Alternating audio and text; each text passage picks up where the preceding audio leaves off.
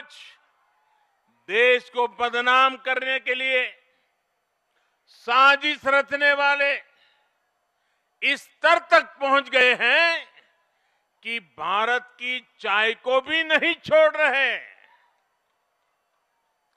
आपने खबरों में सुना होगा, ये साजिश करने वाले कह रहे हैं कि भारत की चाय की छवि को बदनाम करना है।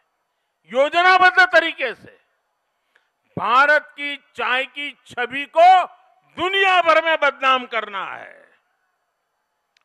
कुछ दस्तावेज़ सामने आए हैं जिनसे खुलासा होता है कि विदेश में बैठी कुछ ताकतें चाय के साथ भारत की जो पहचान जुड़ी है उस पर हमला करने की फिराक में है।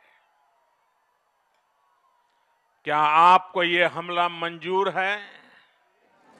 आपको ये हमला मंजूर है? इस हमले के बाद चुप रहने वाले लोग मंजूर है आपको?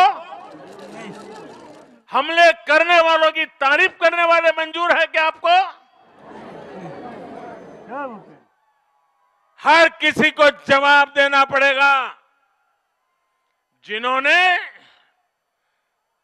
हिंदुस्तान की चाय को बदनाम करने का बिड़ा उठाया है और उनके लिए यहाँ जो चुप बैठे हैं, ये सभी राजनीतिक दलों को हर चाय बागान जवाब मांगेगा, हिंदुस्तान की चाय पीने वाला हर इंसान जवाब मांगेगा।